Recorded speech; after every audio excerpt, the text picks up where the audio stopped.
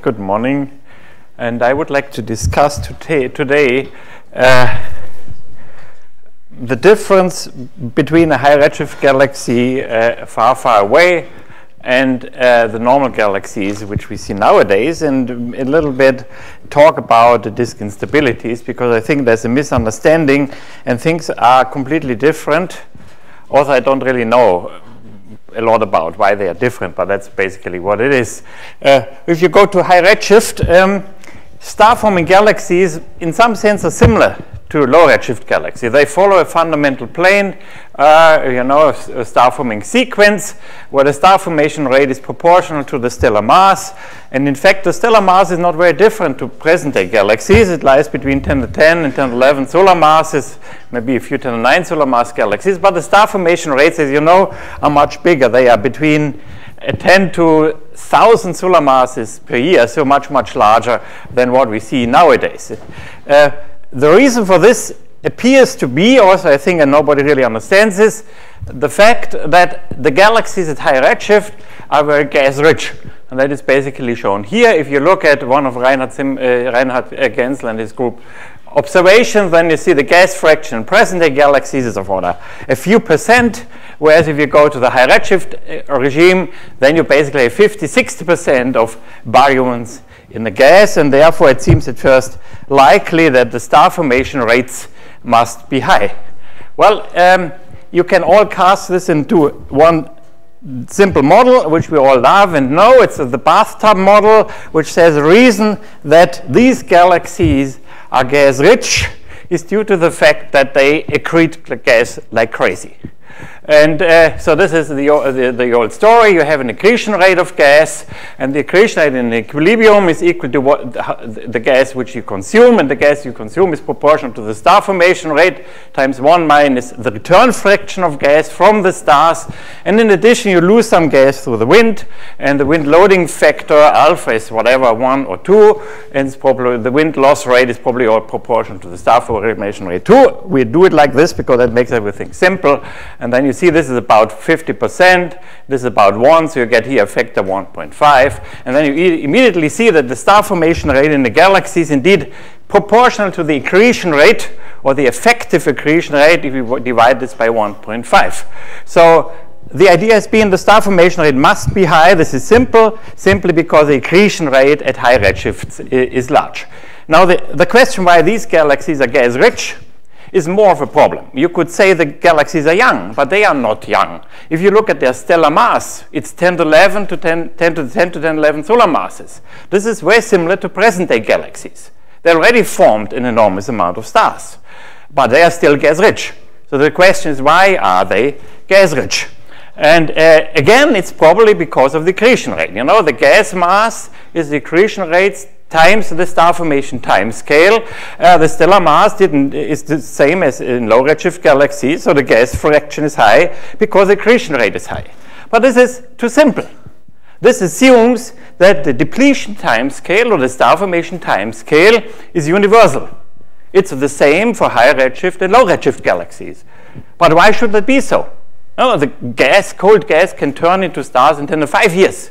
And if the depletion time scale in high redshift galaxies, for whatever reason, would be 10 to 7 years, their gas fraction would be 1% or 0.1%. So they would be gas poor. So it's due to the fact that this depletion time scale is not dependent on redshift that we get the gas-rich galaxies. And I don't think we really understand this very well. Why is the depletion time scale always 10 to 9 years and not redshift dependent and so on? Well, there's more to the high redshift galaxies, which we understand less. Uh, and this is the kinematical property. So here you see on the left side rotation where there's R1 half, half mass radius of these high redshift galaxies, and there's a very nice correlation. The rotation increases when the half mass radius increases. Uh, it's very similar to low redshift galaxies. You know, at 1 kiloparsecs, you have something like 30, 40 kilometers a second. At 10 kiloparsecs, you get to 300 kilometers a second. Similar rotation, half mass, half uh, uh, light radius relationship. But this is completely uh, uh, unexpected. The reason is.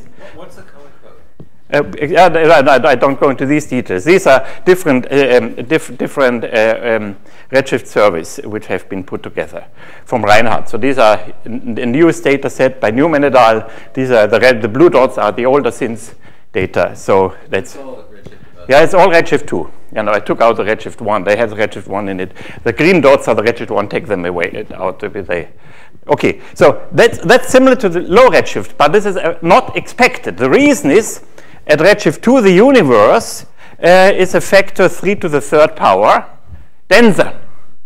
Yeah? And so you would expect the rotation to be a factor 10 faster for the same radius because everything is denser and it's not the case.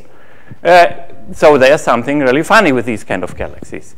In addition, the dispersion, which you see on the right side of the gas, seems to be not dependent on R1 half. You know, it might be a little dependence, goes from 60 maybe to 50, but who cares about this minor uh, dependence?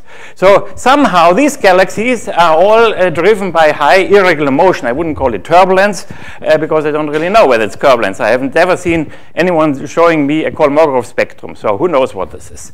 Uh, but the interesting thing is then, of course, if dispersion is constant and rotation decreases, the compact galaxies are uh, dispersion dominated not because they have high dispersion, but their rotation is small, and the extended galaxies are rotation dominated. That's what it is, and we would like to understand that. Well, there has been um, another morphological difference uh, claimed in high redshift galaxies, which is their clumpiness. If you look at these high redshift galaxies, often you find rings, and if you look carefully in these rings, you do find massive clumps. The clumps are of order 10 to the 9 solar masses, and the sizes of these clumps are 1 kiloparsec, and it had been claimed that uh, this is the most important part. The clump part is what drives star formation. The star formation is happening in the clumps, and the winds which we get from these clumps might explain the outflow. So everything is now talking about clumps. Everybody now tries to understand how these clumps form. Well, there has been some understanding, but I think this is wrong. And that's why I would like to bring it up. The idea has been that galaxies always like to live at the edge of uh, stability with the Toomre Q parameter, which is of order 1. Q is defined like that. It's a sound speed, or the, uh, uh, if, if, this, if, if, the, or the velocity dispersion that is larger than the sound speed times the epicyclic frequency divided by pi g uh, surface density of the gas. And you know very well if Q is larger than 1, then these galaxies are supported by pressure and by a centrifugal force, and so they, no clumps can form. And if uh, Q becomes smaller than 1, then you actually uh, get a range where the galaxies become unstable. They cannot be unstable on very small scales because the pressure dominates. They cannot be unstable on very large scales because you have the tidal forces. And so the range in radii where the galaxies are unstable. This range uh, uh, uh, um, uh, collapses to one single radius if q is 1, and you get a larger range, a larger range of radii when q becomes smaller than 1. And the idea had been that these galaxies live at q equal 1 because if they have values q larger than 1, then there's no turbulence, no irregularities. This, any turbulence dissipates, so the sigma decreases. And when sigma becomes more smaller than 1, you get lots of clumpiness, and then the sigma increases again. So the galaxies like to live at 1. Now you can cast this equation into a more convenient uh, equation, which is shown down here. If you introduce uh, the gas fraction, which is gas mass divided by dynamical mass, and here I assume that dark matter in the inner region is negligible, then you find that Q is square root of 2 divided by delta times sigma over V rot. And that seems to explain very nicely the high redshift galaxies.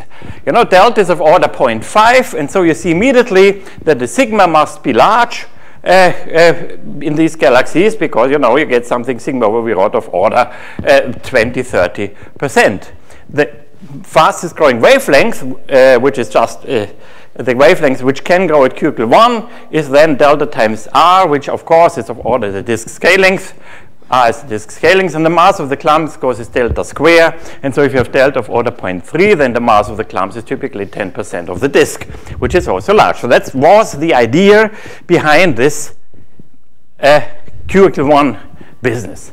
But I think it is not working. Why is it not working? Well, linear theory does not apply. This is linear theory. But these galaxies are not linear. Now look at the clumpiness. you can say they are just right now becoming nonlinear, so we are still see linear theory, but it's wrong. They have already 10, 11 solar masses of stars. They have been nonlinear for quite a long time to form all, the, all these stars. Uh, this is a theory that leads to rings. But galaxies are not axisymmetric. We do not see rings, we see clumps. Sometimes the clumps are in the ring, but the clumps are the properties which we want to understand. It's not clear whether a disk that once has become unstable and then you, you generate irregularities and Q goes above 1 formally should be stabilized again. I have never seen this in any simulation. So who knows, once a disk is unstable, it might be unstable forever. So this is also not clear. Then, uh, if you take this for granted and say deltas of order 0.5, you would expect sigma to be proportional to V rot. But that's not the case. V rot changes from 20 kilometers a second to 400 kilometers a second. Sigma is always 60. It's not what you would expect from this relationship. Uh, finally, most of the molecular mass is not in the massive clumps. The clumps have 10 to 9 solar masses. We have 5, 6 clumps. 6 10 to the 9 solar masses. But the galaxies have 6 10 to the 10 solar masses of gas, molecular gas. So actually most of the gas is not in the clumps. And that might mean most of the star formation doesn't happen in the clumps, but happens uh, in between the clumps, things which we don't resolve. And finally, um, if you do this Toomre instability business, and Avishai has written several papers on that, uh, then you should you show that the clump should be fast rotating because they feed from the shear flow of the galaxy disk, and uh, this is not being observed. So something seems to be completely different. Now, um, because of that, um, I hired a graduate student. Yeah, Marcella?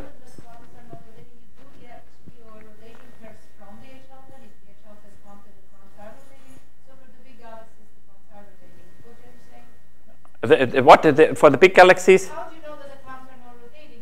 Yeah, yeah. Bec- well, this is this this is what. Yeah, yeah, yeah. Uh, there's a long debate between Avishai and and Reinhard on that, and you better ask him. Uh, I keep out of this. It's ni- it's nice to sit with a glass of beer next to them and let them talk and you drink, but I don't get into this business because it's. Yes, they rotate much less than what you would expect. That's at least you can say. They, there might be some rotation, but it's not that V over sigma is of order 1 or so, uh, it's of order 2 or so. It's maybe of order 1, yeah. Yeah, that's what he says. Well, I will tell you that this Toomre business is wrong anyway, so don't worry about it anymore. It's, uh, oh, who cares about this? It's not. Okay. And this is uh, a work that has been done by Manuel Behrendt. is a great student of mine, and he's now looking into this and we say we do the most simple case. We don't do cosmology, don't resolve the scales and then put a lot of mess in it and then get the mess out and then don't know what we can get everything or did we do any physics. We do a very simple case, take a disk, unstable, homogeneous, smooth, and see what happens. Uh, this has been done by Frederic Bournaud before and we wanted to do it uh, again. And so we started with a smooth disk. You can see this is quite smooth. Um, uh, a scale length of 16 kiloparsec, uh, and a disk radius 16 kiloparsec, scale length of 5, a mass of 3 10 to 10, embedded in an environment which uh, mimics a dark matter halo. It's a constant rotation curve roughly with 10 to 11, so delta is 0.3. And we used Ramses. And the first thing we noticed is uh, um, it is very hard to resolve the disk scale length. The disk scale length, if you would have 10K gas, is tiny. It's very, very small. And we found out that you need to resolve the scale length with at least 5 to 10 grid cells to get the, uh, uh, the scale height, sorry, the scale height, yes, sorry, scale, scale height, with 5 to 10 grid cells to make any sense. And that would be if you would take a 10K gas of order a few AU, uh, maybe 100 AU, so yeah. So too small to resolve. Uh, now people say this, I don't care, I'd never resolve it, and later on turbulence forms and whatever irregularities, and they drive then the scale height up. But if they do it that way, and then they later on resolve it, they might have done something completely wrong. If they would have resolved the scale height from the initial condition, they would never, never had gotten turbulence. So you start with the wrong initial condition, you get something out, which later on you can resolve, but are you really doing the right thing? I'm not sure. So we wanted to do it correctly, and that means in order to resolve the scale height with this kind of resolution, we had to start with 10 to the 4 Kelvin, not 100 Kelvin or 10 Kelvin would never resolve it. 10 to the 4 Kelvin, we kept it isothermal, to do it in a simple way, and then looked what happened. Well, what do you expect?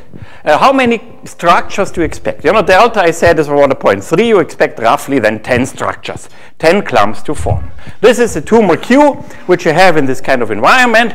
And if you know Q, then you can basically, you see it, it goes above one at a radius about 11 kiloparsecs. We wouldn't expect in any instabilities out there. Uh, here we would expect instability. And actually you can work out, if you know Q and the kappa, you can work out what the fastest growing wavelength is. And you see it's here of order half kiloparsec, and then it increases to about 10 kiloparsecs. So this is the fastest growing wavelength, but these wavelengths would also grow. They are growing with less rate, so less fast. And the interesting question is, this is kind of the range of growth out here stable. And the question is, is this fastest growing wavelength winning, or do the other ones take over? So who knows?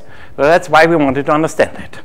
Okay, once you know the fastest growing wavelengths, then you can fix the inner ring and then you can work out what the next ring can form because the inner ring has a thickness of the fastest growing wavelengths. And then you get the next ring and the next ring, you can work out how many rings you could form and you come up with about 11 rings. That's roughly delta 1 over delta square as I said. So this is 11 structures that you can form. And in fact, if you do the simulations, this is exactly what we find. We find exactly this the, the, the, separation of rings as shown here. So that was a very nice confirmation of, uh, but it, if you don't resolve the scale height, you don't get anything like that. It's a complete mess, it's all wrong. You all really have to resolve the scale height to get that. It's isothermal, yes. Well, let's just do it because it's simple test, a simple um, um, theoretical investigation. It's not uh, the, the, high redshift galaxies, but I don't care. I want to understand. Yeah, I told you reality in a second. Wait a minute, I tell you what I learned from this. Yeah? Okay, I tell you what it means in a second. Yeah? Okay, so this is how the thing evolves. And you basically see uh, what happens. You form the inner rings first because the, uh, the collapse time scale or the uh, Toomre time scale is shorter. And then the rings are actually breaking up into fragments, and then you form rings further and further out. What happens is the rings collapse onto themselves on a certain time scale and then form clumps. And while the outer clumps are just beginning to form, the inner clumps are beginning to merge. So what you see already here is the sim simple arguments we always present is we should expect 11 clumps. Right? But obviously you do not form 11 clumps, you form many, many more. Why do you form many more? Because the clump formation happens when the rings have collapsed into a thin line, and the thin line fragments. Its Jeans length, wait a minute, its Jeans length is much smaller than uh, the original Jeans length or the original Toomre length, and therefore the number of fragments you get is much, much, much more. So you cannot use a simple delta argument. We, you know, they are very tiny, yes? They are very tiny and later on they grow. And of course they grow, but it's a completely different process. It's not Toomre instability anymore. It's merging of clumps. It's a completely physics that we are talking about to get to big clumps. It's not the Toomre argument that you can use. So that's the first thing which we learned. We also looked at the wavelengths, and I said we have several wavelengths and we, that can grow, but only the fastest growing wavelength takes over, so that works very nicely, so that you can use to work out where earrings rings are forming, and you can show that actually the other wavelengths go less, less fast. The other wavelengths all perfectly in agreement with Toomre as long as you are axisymmetric. But once you break up, the whole situation is very different. Uh, interesting was when these rings began to collapse onto themselves. People usually lose the Toomre time scale to tell uh, us when fragments should form. But we find that the collapse time scale, which is given here, this is, a, this is the numerical result, and this is the Toomre time scale, is 10 times longer. It's of order a few 10 to 8 years, not a few 10 to 7 years. So if you really want to calculate how quickly your disk fragments, you should use a time scale which is 10 times longer, not uh, the Toomre time scale. That is of maybe of some interest. Uh, here is what happens in details. Uh, these are the density maxima, and you see here the rings forming at the distances as we would expect them. This is when the rings collapse onto themselves and begin to fragment, and then you get a whole mess. This is the turb what we call turbulent state of a galaxy. This is the initial linear state of a galaxy. And uh, the question of, is, of course, is, is this mess at all related to the Toomre analysis, uh, which we always use. Um, these simple formulas which we use, which are kind of based on the linear stability analysis, do we get something similar for magical reason, or is this mess leading to something completely different? So the first thing is we looked at the number of clumps. As I said, we would expect nine clumps to form, but we got much more, and here's the evolution. You see uh, how many clumps, you see when, when another ring becomes unstable, you see a peak in the clumps, clump formation, because here this is here, this ring becomes, and this ring becomes unstable, then this ring becomes unstable, and here you see how uh, many clumps you have in function of disk radius. And you see you get in the instability first a lot of clumps, but then the clumps begin to merge. And after some time, uh, the system has fragmented, and then you get a constant number of clumps. It's not such that the clumps merge and merge and merge, and you get less and less clumps. The reason is the most massive clumps are disrupted again. If the clumps become larger than the tidal radius in the galaxy, they break up again. So you get a continuous uh, structure basically at the very end of all the 150 clumps. That's the equilibrium. It's much more than you would have predicted from Toomre, and it's an equilibrium situation. This is the clump mass distribution. This is where we would expect it to have been from Toomre instability. And you see it's completely different. Initially we get small clumps, but of course the, the massive clumps grow by merging. But once they reach this Toomre mass, which is interesting, uh, they break up. There are not many forming out, out there. They break up again. So the Toomre mass is indeed interesting. It tells us the most massive clump that ever can form. But it's not the typical mass of the clumps. Most of the molecular gases is in much smaller clumps, and only a few, five or six massive clumps are forming. That's ex exactly what the observers tell us. But the observers say this is where the action happens. And I would say here's where the action happens. This is the diffuse part, which is 10 times more than the clump mass, which the observers don't resolve. And if you want to understand the high redshift galaxies, look at this here, and don't look at this here. This is uh, interesting, but not interesting if you want to understand the evolution of the whole galaxies. Where you see the mass-size relationship of these clumps. The size is given by this complex kinematics because the clumps have substructure. And interesting enough, you form a mass-size relation, m goes as r square. I don't know why, it just happens to be so. And you see this, this is well established, and once it's established, it stays like that. The red dot is the mean size and the mean mass, so to say average show. And you see, get an equilibrium. The clumps get sizes of kiloparsec. The most massive clumps have a size of a kiloparsec and a mass of 10 to the 9. And then they break up and start down there again and do the whole cycling again. You get something in equilibrium.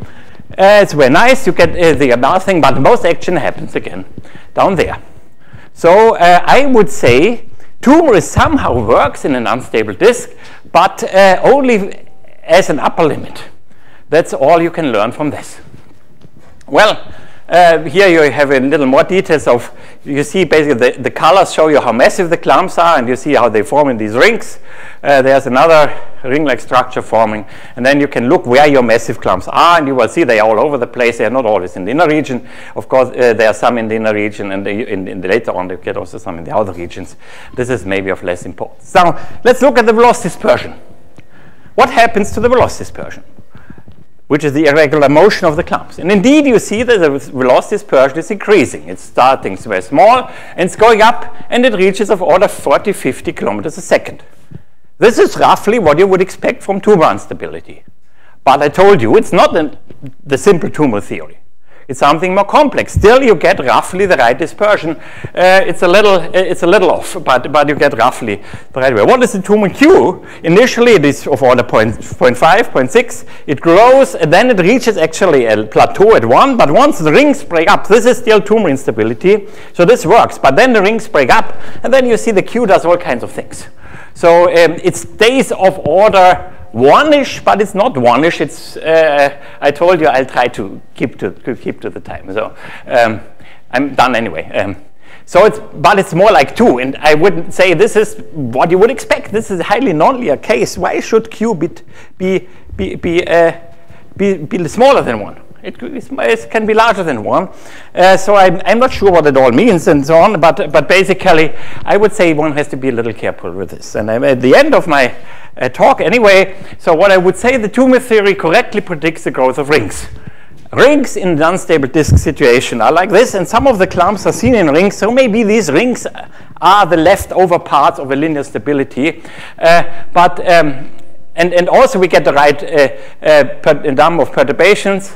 Um, and, uh, and the fastest growing wavelength is always wing, and this is okay. The collapse time of the rings to form clumps is 9 times the Toomre time scale, whatever this is worth uh, and interesting for. And then the fragmentation of rings leads to a number of clumps. How many clumps form depend on how thin the rings are. How thin the rings are depends either on your resolution or your thermodynamics. The rings would collapse to an infinitely thin spindle if they could, and then you get an infinite number of clumps. So because the, the size of the clumps is given by the thickness of the ring. So I could get any number of clumps depending on whether I read the rings up or whatever I do. So this is something which is not determined by the Toomre theory. And the fragments are initially small, despite Q being of order 1, but then they begin to grow. And fascinating enough, the most massive clump is actually exactly what you predict from Toomre theory which is maybe due to the fact that more massive clumps, as Toomre would also say, are tidally torn apart, so they can't grow beyond a certain size and mass and that you get at the end a self-regulated time-independent clump mass spectrum and size distribution, which is not dominated by the massive clumps. They are only the tip of the iceberg, and this is where the action happens, which uh, Reinhard can't see in his observations, uh, and, and, the CANDELS uh, team probably also cannot see. And so this is something which I think is most important. The Toomre theory does not apply to the observed high redshift nonlinear phase uh, uh, Uh, uh, of these star-forming galaxies in general. Also, we might learn something using Toomre. Okay, so that's what I would like uh, to say to, and, and thank you for listening.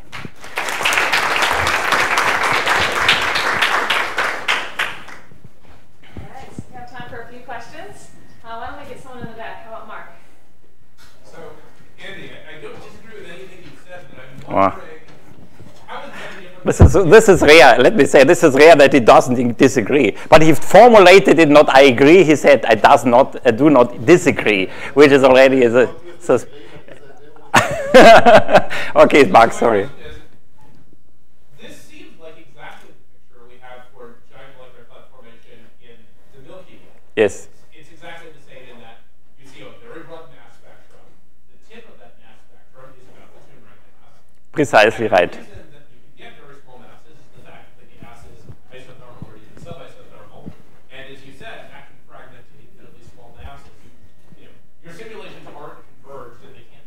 Sure. Sure, sure. We, I know, it's exactly the case. We get a, a, peak in the mass spectrum, but we don't resolve the low mass clumps. If we would resolve, we probably would get a power law distribution of masses. Exactly. So in some sense, the high redshift galaxies are not different than low redshift galaxies. They have more massive clumps because they have more mass. And so n equal 1 is reached at higher masses. Yeah, that is my story. This is exactly so they are similar, but the most of the action happens not in the most massive clumps, but. But then why does it? Why does that mean theory for local Because two, why, why why does it? Well, okay, yeah. Why does it uh, work for Toomre? Yeah. Uh, yeah, I think the, the Toomre has included this condition that clumps are disrupted when they are too large. This is part of Toomre. And so that explains why the most massive clumps are at the Toomre limit. I think that makes sense. But why the dispersion is similar to Toomre, I don't know. To Q equal 1 or 2, I don't know. You know, this random motion of the clumps, why that regulates to something Q of 1 and 2, I don't know yet. Uh, this is a random n-body simulation with merging and correlation and dispersion. This has to be worked out. Let's get another question. Yes.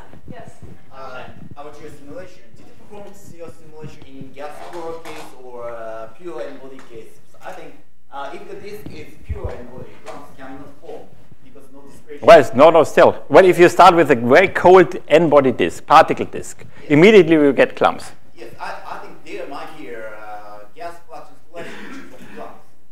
There might be what, I guess? gas fluxuation flash Yeah, okay, well, you don't have the pressure the thermal pressure in the in this in the in the gas in, in the stellar simulations, but the thermal pressure is small compared to the to the turbulence anyway in this case. So I think the initial Toomre instability would be almost exactly the same if you would do it with an n-body system.